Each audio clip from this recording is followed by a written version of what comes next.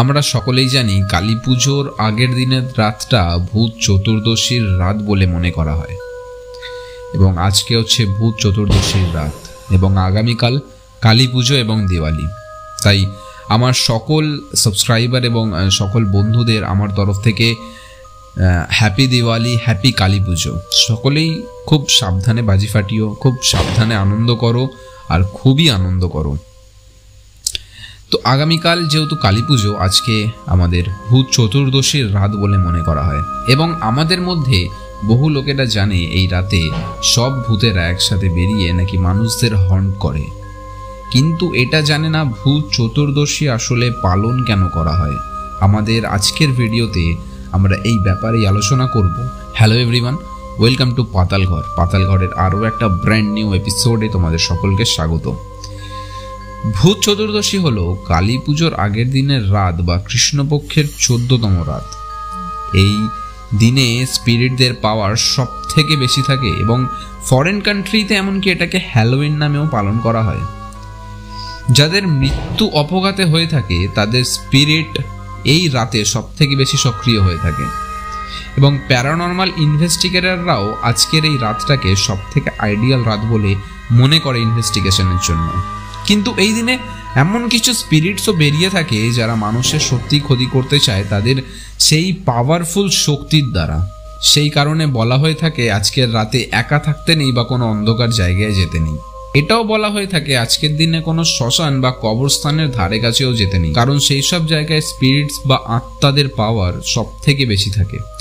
অনেকে আবার ভূত চতুর্দশীকে অন্যভাবে ডিফাইন করে থাকে। তারা বলে, ভূত চতুর্দশী মানে হচ্ছে চতুর্দশ সিগনিফাইন করছে চোদ্দ নম্বরকে, যার মানে হচ্ছে চোদ্দ রকমের স্পিরিট এবং তাদের মধ্যে এক রকমের স্পিরিট সব থেকে বেশি শক্তিশালী হয়ে থাকে।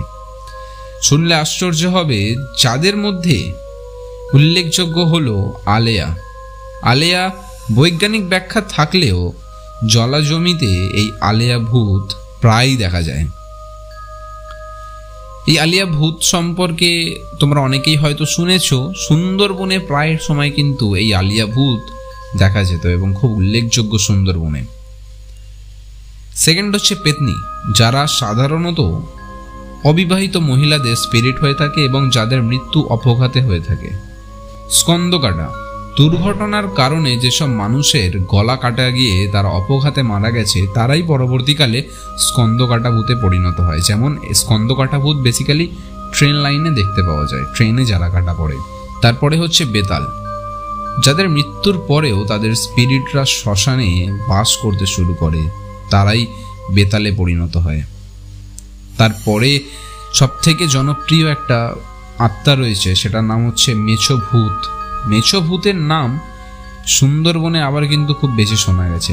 যেসব মানুষরা মাছ ধরতে গিয়ে মারা যায়, তারাই কিন্তু মেছোভূতে পরিণত হয়েছে। কারণ এই মেছোভূত সুন্দরবন এরিয়াতে খুবই দেখা যায়। কারণ সুন্দরবনে যেহেতু মাছ ধরতে সব ওখানকার জন, ওখানকার লোকজনরা মাছ ধরতে বেরোয়, যার জন্য সেখানে অনেক মাছ ধরতে গিয়ে এরকম অনেক লোক মারা যায়। এবং সেখানে মেছো ভূতের প্রচুর কথা শোনা যায়। তারপরে হচ্ছে এটাও জনপ্রিয় ব্রহ্মদৈত্য।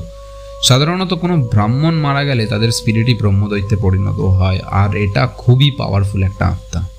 তারপরের একটা স্পিরিট বা আত্মা হচ্ছে ভোলা। এই স্পিরিটরা পথের প্রতীকদের রাস্তা ভুলিয়ে দেয় এবং তাদের অন্যদিকে নিয়ে যায় এবং অন্যদিকে নিয়ে গিয়ে নির্জন স্থান দেখে তাদের মেরে ফেলে। আমাদের সাথেও হয়তো এরকম অনেকবারই হয়েছে এবং আমরা কোনো জায়গাতে যাচ্ছি, হঠাৎ করে রাস্তাগুলি আমরা অন্য জায়গায় চলে গেছি। তারপরে যখন জ্ঞান ফেরে, তখন আমরা দেখি যে আমরা এই রাস্তায় না গিয়ে আমরা ভুল রাস্তায় চলে এসেছি। তো এটা কি করে হয়ে থাকে? তোমাদের সাথেও যদি এরকম কিছু হয়ে থাকে, তো অবশ্যই কমেন্ট করে কিন্তু জানাবে আমাদের। আর তোমরা কি মনে করো, এটা এটা তোমাদের ভুল, নাকি এটা তোমাদের ভোলায় ধরেছিল? এছাড়া এরম অনেক ভূত রয়েছে, যেমন ঘেছো ভূত আছে মামদ ভূত আছে শাকচুন্নি আছে, প্যাচাপেচি আছে, নিশি আছে, শাকিনি আছে, যোগিনী আছে আরও অনেক রকমের ভূত রয়েছে কিন্তু এই ভূত চতুর্দশী স্পেশালে তো স্পেশালি এই চোদ্দ রকমের ভূতই বেশি অ্যাক্টিভ থাকে আজকের এই ভূত চতুর্দশীর দিনে। তোমরা খুবই সাবধানে থেকো আজকের দিনে এবং যত পারবে তত রাত্রি বাইরে না কাটিয়ে বাড়িতে তোমরা থেকো এবং নির্জন স্থান, শ্মশান, কবরস্থান এইসব জায়গাকে অবশ্যই তোমরা অ্যাভয়েড করো। ভিডিও কেমন লাগল অবশ্যই জানিও, আর কালী পুজো খুব ভালো করে তোমরা কাটিও। আর দিওয়ালি, কালী পুজো একই সাথে রয়েছে, তাই খুব ভালো করে কাটিও এবং খুব ভালো করে মজা এনজয় করো। তার সাথে এই সব কথাগুলো ধ্যান রেখো। ভিডিও যদি ভালো লেগে থাকে, অবশ্যই লাইক শেয়ার সাবস্ক্রাইব করে দিও। কমেন্ট করে জানিও তোমাদের কোনো বক্তব্য থাকলে। আজকের মতো এই পর্যন্ত তোমাদের সাথে দেখা হবে পরের একটা ভিডিওতে। ধন্যবাদ।